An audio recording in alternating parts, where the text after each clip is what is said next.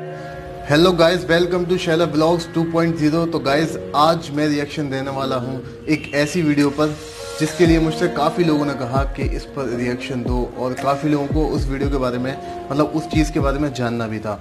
और वो टॉपिक ये है कि इस्लाम कैसे फैला। तो गाइज़ ये आज का टॉपिक है तो मैं आज इसी पर रिएक्शन दूँगा। तो गाइज़ फिर शुरू करते हैं। ला इलाहा इल्लल्लाह मोहम्मदुर रसूलुल्लाह। तर्जुमा, अल्लाह सिर्फ़ एक है, उसके सिवाय कोई मबूद नहीं। और हज़रत मोहम्मद सल्लल्लाहु अलैहि वसल्लम उसके सच्चे पैगंबर हैं। अल्लाह के हुक्म से हज़रत मोहम्मद सल्लल्लाहु अलैहि वसल्लम ने ही इस्लाम धर्म को लोगों तक पहुँचाया है। आप हज़रत सल्लल्लाहु अलैहि वसल्लम इस्लाम के आखिरी नबी हैं।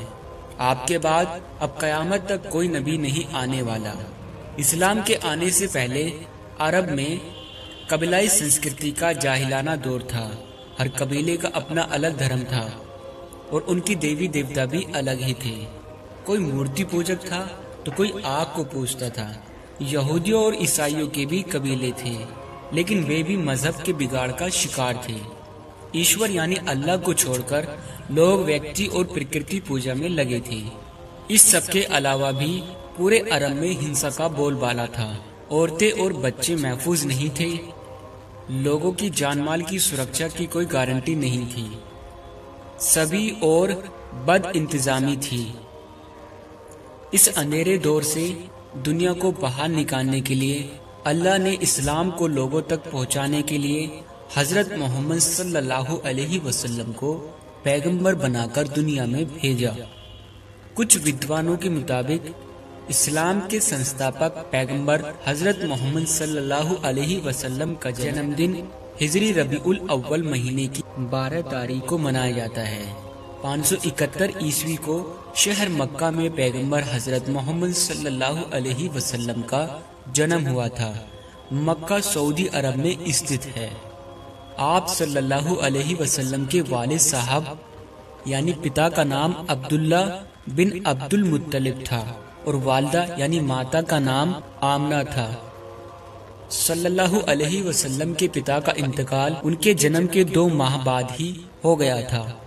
ऐसे में उनका लालन पालन उनके चाचा अबू तालिब ने किया।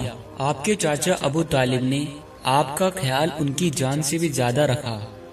इबादत और इल्हाम। आप सल्लल्लाहु अलैहि वसल्लम बचपन से ही अल्लाह की इबादत में लगे रहते थे। आपने कई दिनों तक मक्का की एक पहाड़ी अबुल नूर पर इबादत की। 40 वर्ष की आयु में आपको अल्लाह की ओर से संदेश, यानी इल्हाम प्राप्त हुआ। अल्लाह ने फरमाया, ये सब संसार, सूर्य, चाँद, सितारे मैंने पैदा किए। मुझे हमेशा याद करो, मैं केवल एक हूँ, मेरा कोई मानी, सानी नहीं है। लोगों को समझाओ हज़रत मोहम्मद सल्लल्लाहु अलैहि वसल्लम ने ऐसा करने का अल्लाह को वचन दिया। तभी से उन्हें नबूवत प्राप्त हुई। कुरआन। हज़रत मोहम्मद सल्लल्लाहु अलैहि वसल्लम पर जो अल्लाह की पाक किताब उतारी गई, वह है कुरआन। अल्लाह ने फरिश्तों के सरदार जिब्राहिल सलाम के मार्फत पवित्र संदेश वही सुनाया। उस संदेश को ही कुरान में संग्रहित किया गया है। कुरान को नाजिल हुए लगभग 1400 साल हो गए, लेकिन इस संदेश में जरा भी रद्दो बहल नहीं की गई है। सबसे पहले ईमान। नबूवत मिलने के बाद आप हज़रत सहू अलैहि वसल्लम ने लोगों को ईमान की दावत दी। मर्दों में सबसे पहले ईमान लाने वाले सहाबी हज़रत अबू बकर सिद्दीक रज़ी अल्लाह तहु रहे।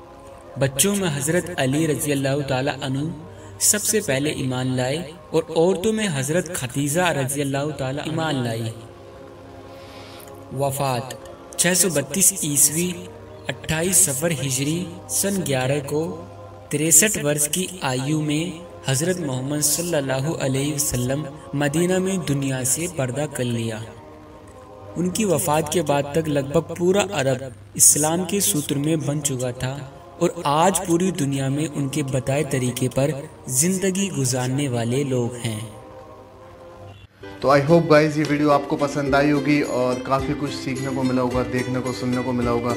तो गाइज़ अगर आपको ये वीडियो अच्छी लगी हो तो ज़्यादा से ज़्यादा शेयर करना और दूसरों तक पहुँचाना ये। और वीडियो को लाइक करना और शेयर करना और सब्सक्राइब करना यार मत भूलना।